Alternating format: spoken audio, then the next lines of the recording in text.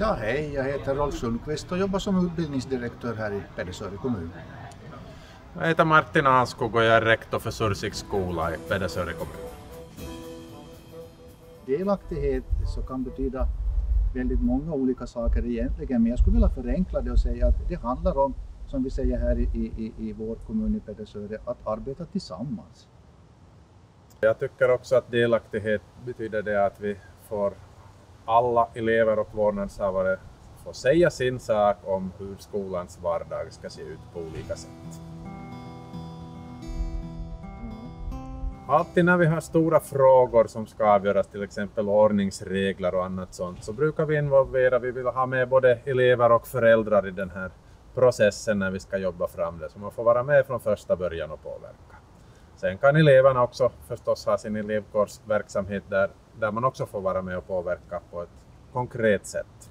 Det viktiga är också att vi ställer de här frågorna och att vi involverar eh, eleverna, föräldrarna, allihopa som berörs av en fråga redan i ett väldigt tidigt skede. Att man, man, man har med eh, gänget från första början. Och det här eh, tycker jag att har blivit, vi har blivit bättre på det men vi kunde bli ännu bättre på det. Att, att verkligen ha med eh, allihopa från första början. Och också ställa de här vettiga frågorna till ungdomar och barn. Att vi inte ställer de här frågorna bara för att vi, vi måste vara bra på delaktighet, utan att vi verkligen ställer de här frågorna som engagerar.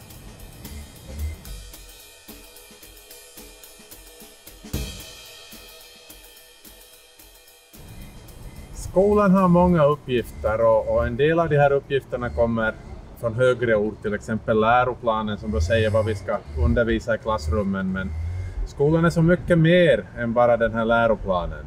Det kan handla om mopeder och var man ska parkera dem och en hel massa andra saker som sker här i skolans vardag. Och där är det viktigt att såväl elever som vårdnadshavare får vara med och bestämma om hur den här skolans vardag ser ut.